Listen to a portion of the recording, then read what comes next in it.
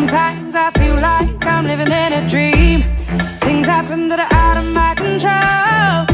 So I walk alone, constantly thinking, thinking, thinking to myself, but my voice I cannot hear. Where's that it go?